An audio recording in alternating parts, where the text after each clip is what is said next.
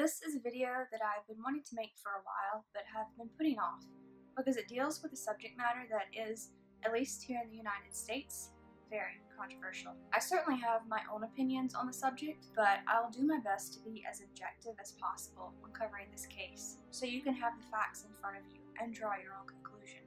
This is the story of Kermit Gosnell.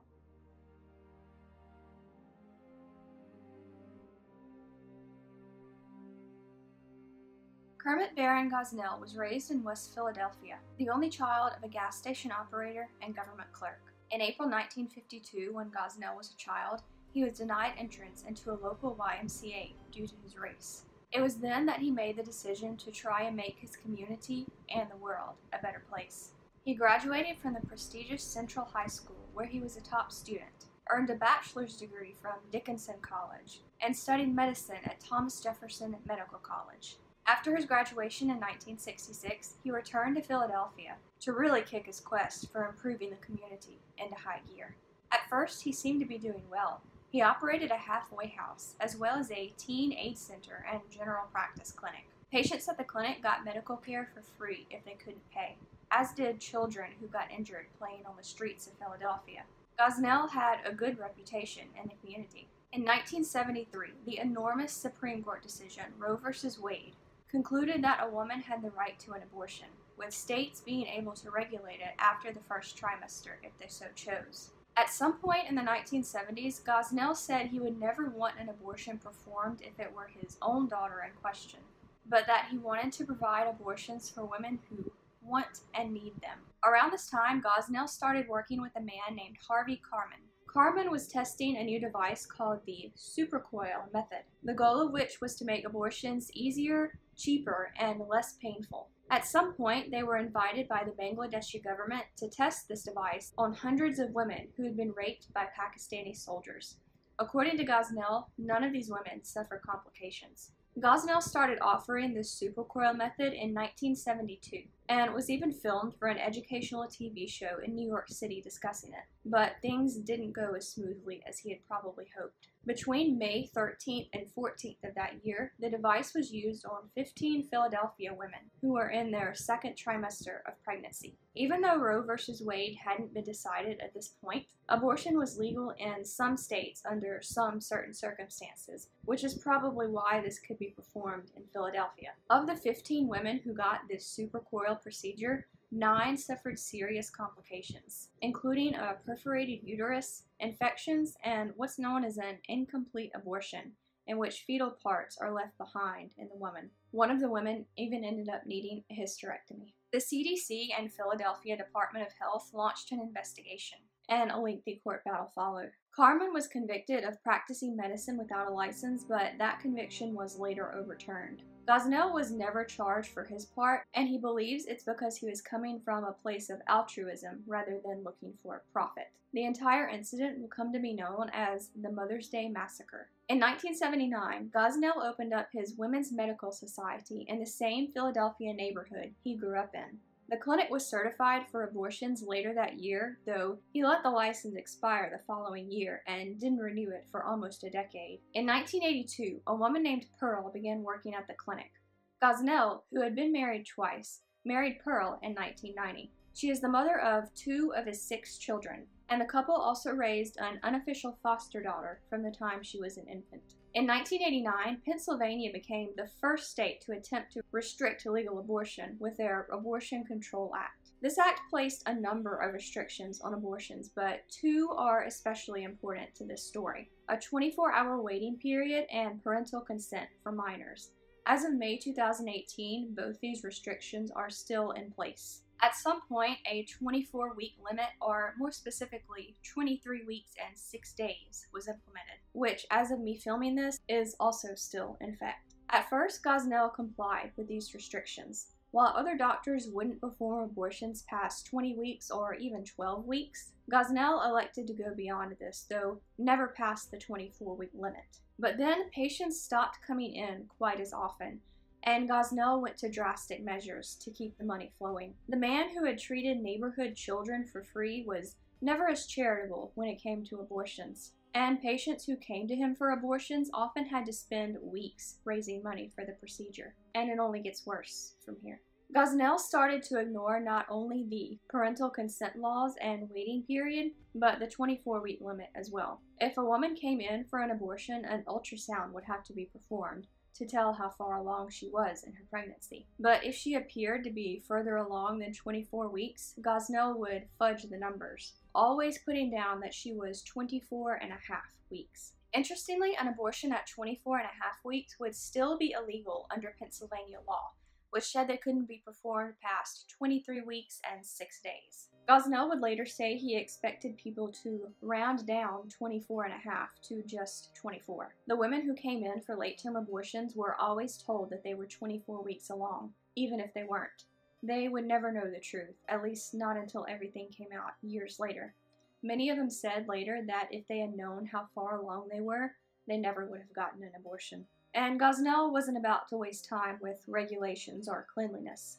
The entire clinic was filled with unsanitary conditions. Not just dust and debris, but unsterilized and broken instruments. Disposable tools meant for one time use were constantly reused, and the rest weren't properly cleaned. Employees rarely bothered to clean furniture, leaving chairs and blankets stained with blood. One pediatrician stopped referring his clients to Gosnell after they all began returning with the same sexually transmitted disease called trichomoniasis. The clinic was closed on Sundays, but Gosnell never took a break. This was the day he performed abortions on women who were so far along in their pregnancies he didn't even want his other employees to see them. His wife Pearl worked with him on those days, helping with instruments or assisting patients in the recovery room. For most of the duration of his clinic being opened, Gosnell was the only licensed physician who worked there. Most of his employees weren't formally trained to do most of the things they ended up doing, which included giving out prescription drugs and even assisting with abortions. Even when Gosnell himself was performing abortions, he was often said to be eating during the procedure. Cats roamed freely around the clinic, using the building, including the procedure rooms, as their own personal toilets. Gosnell would later say he got the cats to keep away mice. But employees weren't just giving out medicine for back pain. In addition to abortions, the clinic operated as a pill mill, giving strong drugs to anyone who was willing to pay the high price. It's estimated that Gosnell made $15,000 a day on the 200 illegal prescriptions he would write. Employees also often gave patients drugs haphazardly before abortions, which would come back to haunt Gosnell. I'll get back to that later. Over 45 years after Roe v. Wade, abortion is still a controversial issue. But most people on both sides of the debate would probably agree that it should never be performed against a woman's will. Gosnell seemed to disagree. Minors would come in frequently against their will, brought in by parents who insisted on abortion. Other women would come in initially agreeing to the procedure but later questioning it. In one account, a woman named Robin Reed recalled her time at Gosnell's clinic.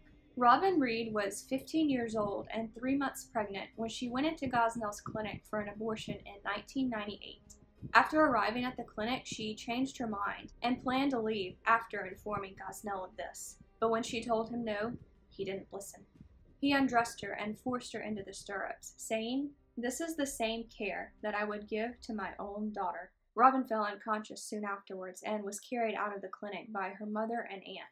They took her to her aunt's house, where she woke up 12 hours after meeting with Gosnell, presumably after the abortion was performed against her will. She never filed a lawsuit.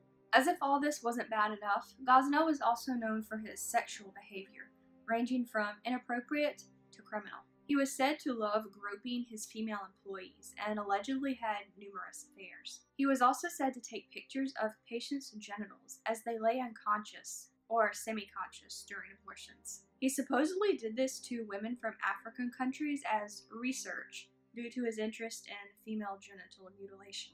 One of the crucial witnesses in the eventual case against Gosnell was Adrienne Moton. Moton had briefly lived with Gosnell and his wife when she was a teenager. She attended community college during her time there, when she got pregnant and eventually gave birth to a baby girl. Around that time, Adrienne's then boyfriend sexually assaulted one of the children living in Gosnell's house, presumably one of Gosnell's own children. When Moton reported the assault to the police, Gosnell kicked her out. Despite this, they later reconnected, and in 2005, she went to work at his clinic. During her time there, she witnessed what was perhaps Gosnell's worst crime. The phrase late term abortion isn't a formal medical term. It's used colloquially to refer to abortions performed anywhere between 21 weeks and 27 weeks, depending on who you talk to. When done properly, these procedures can take several trips to a clinic over a period of days, but not at Gosnell's clinic. That would be too much work. Instead, Gosnell would instruct his staff to induce labor in these women, some of whom gave birth when he wasn't even there. Although Gosnell's clinic opened at 10 a.m., he often wouldn't get there until 8 p.m., greeted by live babies from the women who had come in seeking abortions. If his staff hadn't done it already, he would then take a pair of scissors and snip the backs of the babies' necks to sever their spines, killing them. In at least one case, instead of severing the spinal cord, he slit the baby's throat. He called this process ensuring fetal demise. Multiple women ended up giving birth in toilets at the clinic. The babies often wouldn't survive this process, and plumbing at the clinic was frequently backed up. When this happened, Gosnell would always get someone else to unclog the toilet because it was too disgusting for him. One former clinic worker said of these incidents, it would rain fetuses, fetuses and blood all over the place. One other thing I find worth noting is the racial divide at Gosnell's clinic. Women came from all over the country for abortions at the Women's Medical Society, usually because the abortion they wanted would be illegal in their home state. But most of Gosnell's patients were lower class black and Hispanic women from West Philadelphia. On the rare occasion that a middle class suburban white woman would find her way into Gosnell's clinic, Gosnell went out of his way to make sure she was treated with the utmost care. When an employee questioned him about this, Gosnell simply stated that it was the way of the world. He would later say he did this because he thought suburban white women might be more likely to file a complaint. With all these things going on in Gosnell's clinic and in his life, people started to take notice. Complaints were often raised against him, but usually ignored. The last time his clinic was inspected was in 1993. Two years later, a pro choice Republican named Tom Ridge became Pennsylvania's latest governor. Under Ridge, the Pennsylvania Department of Health stopped all inspections of abortion clinics for fear it would be putting up a barrier to women seeking abortions. The only exception would be direct complaints. Over the years, Gosnell was a defendant in 46 civil suits, including one filed by the children of a woman named Semika Shaw. Shaw died of sepsis in 2000 after getting a perforated uterus after an abortion at Gosnell's clinic. But the suit was settled out of court in 2002 and Gosnell was never investigated. In November 2009, a woman named Karnamaya Mongar drove from Pennsylvania to Virginia to get an abortion at Gosnell's clinic. The 41 year old Bhutan native had spent most of her life in a refugee camp in Nepal before being brought to the U.S. four months earlier as part of a refugee resettlement plan. A wife, mother, and grandmother, Mongar was 16 weeks along in her pregnancy and had been told she couldn't get an abortion in Virginia because the limit, at least at the time, was 14 weeks. She spoke very little English, if any, and probably couldn't read the forms that Gosnell's staff made her sign. She only weighed about 100 pounds, but Gosnell's staff administered a dangerous cocktail of drugs, with little regard to how they would affect her. Mongar was still unconscious after her abortion when she stopped breathing. She had developed arrhythmia, which causes the heart to beat irregularly, and was probably caused by the high dosage of drugs given to her by Gosnell's staff. Paramedics were eventually called, but it took them 20 minutes to maneuver Mongar's stretcher through the narrow, cluttered hallways and padlocked emergency door. Once she arrived at the hospital, Gosnell's staff lied about how many drugs they had given her, presumably to cover up their own negligence. She slipped into a coma and was pronounced dead the next day. A few months after her death, Gosnell wrote a letter to her family, insisting he had done everything for her that he could, and that her death was nothing more than a freak accident. He also assured them he hadn't touched the money she had paid him for her abortion. After Mongar's death, more complaints were made against Gosnell to the Pennsylvania Department of Health. Like the rest, these complaints were ignored, but it wouldn't be long before Gosnell's evasions of the law came to a screeching halt. At the time of Mongar's death, Detective Jim Woody Wood was working as an undercover narcotics agent for the Philadelphia District Attorney. He was given Gosnell's name by an informant, and on February 18, 2010, The Women's Medical Society was raided by the DEA, DA, FBI, Department of State, and Department of Health. Those who participated in the raid entered the clinic to a horrible sight. Half conscious women waiting to get abortions sat in dirty chairs, naked from the waist down and covered only in blood-stained blankets. Aborted fetuses were stored around the clinic in things like milk and juice jars, or even cat food bags or refrigerators or freezers, sometimes right next to employee lunches. The investigators noticed that many of the fetuses looked past the 24 week limit, as well as the incisions at the base of their skulls. One agent said the clinic looked like a bad gas station restroom Prosecutors would later refer to it as a house of horrors. Gosnell's medical license was suspended on February 22nd. That same week, the Women's Medical Society was finally shut down. That same month, the Pennsylvania Department of Health started regularly inspecting abortion clinics again. On April 22nd, Gosnell's home was searched. The house was just as dirty and cluttered as the clinic, and a lot of patient files had been stored there. In the bedroom closet of Gosnell's then 12 year old daughter, investigators found $240,000 in cash and a gun. It seemed like Gosnell's years of illegal activity were finally catching up with him. But there was something else that still bugged investigators the incisions in the back of the skulls of so many, presumably, aborted fetuses. There are a couple of different methods for performing a late term abortion. One is called induction abortion, in which potassium chloride is injected into the woman's abdomen or vagina to stop the baby's heartbeat. Then the baby is delivered, intact but dead. However, this procedure is rare, and most late term abortions are performed by one of two methods dilation and evacuation, or dilation and extraction. In dilation and evacuation, a doctor uses forceps to pull the baby's limbs out and crush the skull. I presume so it'll come out easier. Dilation and extraction is similar, but the baby's limbs are pulled through the birth canal using forceps. Then an incision is made at the back of the skull, and a suction catheter is put inside, which collapses the skull. Dilation and extraction is also known more colloquially as partial birth abortion and is illegal in most circumstances. I know I just threw a lot of gruesome details at you, but I tell you all of this to show you that most late term abortion procedures involve crushing the skull. The babies in Gosnell's clinic had snips at the back of their neck that would seem to indicate dilation and extraction, but their skulls and the rest of their bodies were intact. If their bodies were intact, it could have been induction abortion, but this wouldn't explain the incisions at the back of their skulls. This, in addition to numerous accounts of witness testimony, is how investigators came to the conclusion that the babies at Gosnell's clinic hadn't been aborted, but had been born alive and killed. In January 2011, Kermit Gosnell was indicted on 258 charges, including first degree murder, involuntary manslaughter, infanticide, perjury, illegal late term abortions, abuse of a corpse, theft, and conspiracy. The 261 page grand jury report was scathing, implicating not only Gosnell and several members of his staff, but the health department that looked the other way after so many complaints against Gosnell.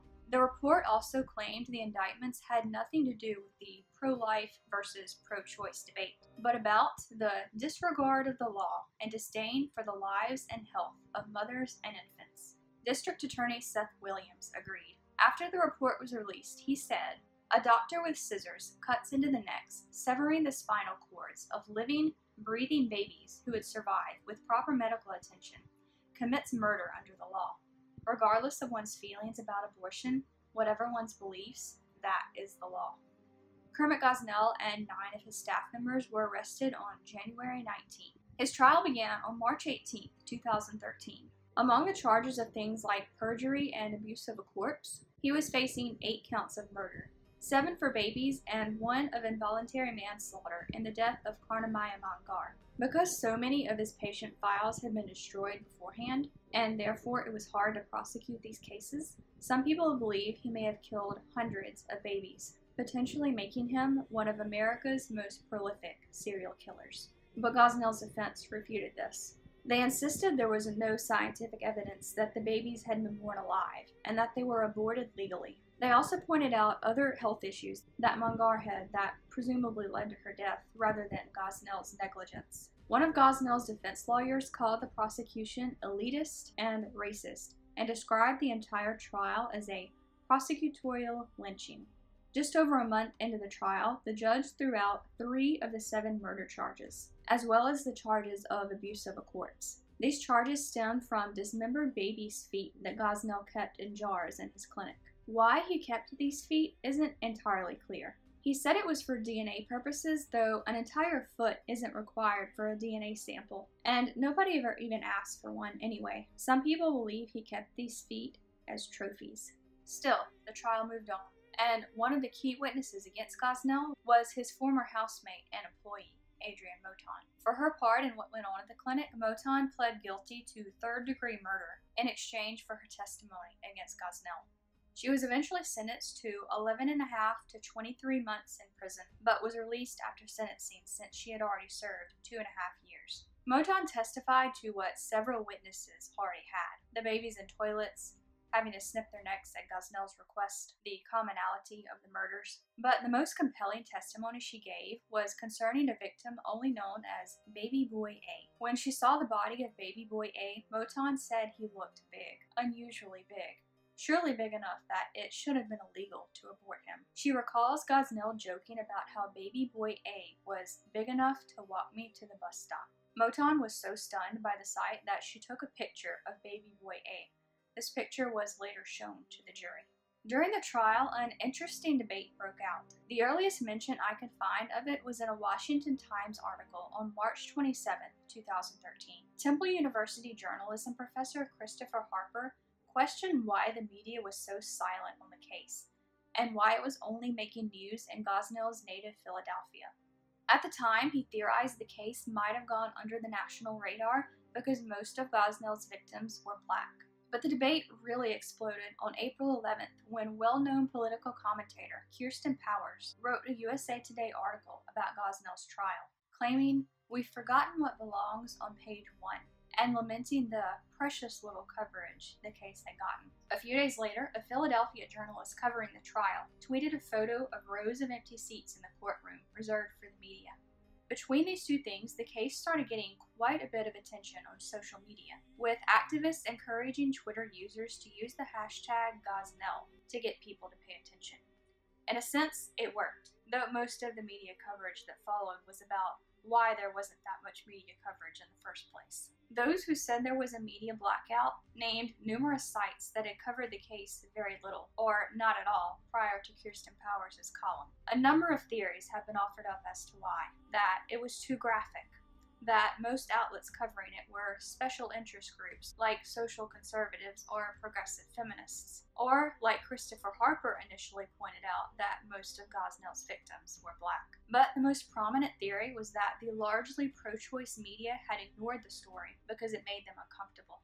According to this theory, the Gosnell case raised important questions about if and when abortion should be allowed at all, and what the difference is really between a newborn baby and a 24 or even 30 week old fetus. But others weren't so sure. On April 11th, journalist Irin Carmon wrote a Slate article claiming there was no media blackout, that there had been plenty of media coverage, even before Kirsten Powers' column. A follow up article by a different author on the same site called out conservatives and pro life activists, saying they weren't paying attention to the case before it took off either.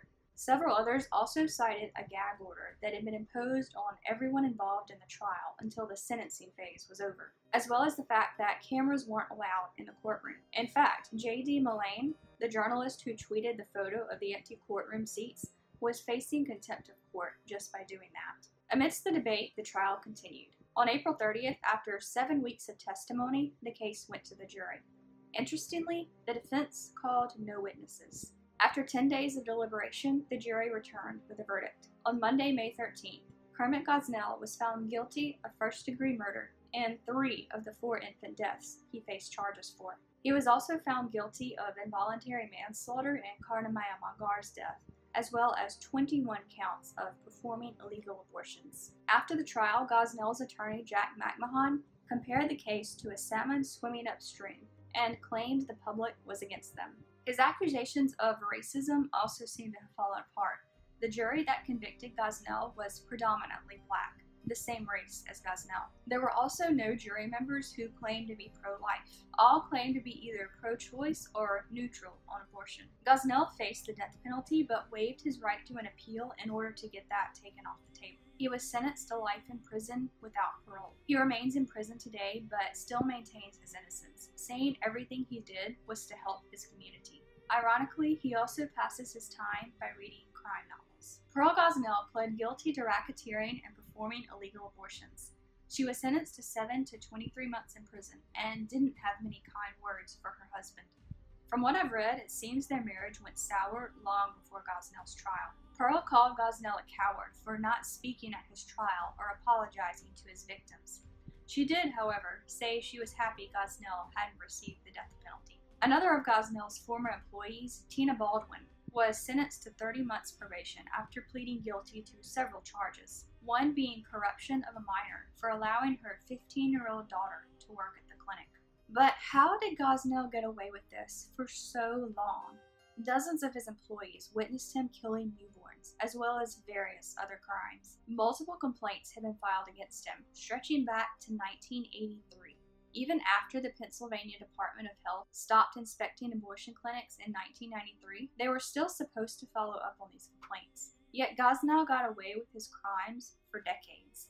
Why the silence? Part of it could be doctors unwilling to report their colleagues. This is apparently pretty common. Doctors are worried that if they snitch on other doctors, their own careers will be put in jeopardy and they'll face retaliation. Their relationships with other coworkers could be damaged, as well as the long legal proceedings. A few doctors did report Gosnell, but their complaints were never followed up on. And it's not too surprising that Gosnell's employees kept silent. After all, many of them were accomplices to his crimes. The ones who weren't were often desperate picked by Gosnell specifically for that reason. Despite his unwillingness to spend money on basic cleanliness, he paid his employees decently, and they weren't about to give that up when they had families to support.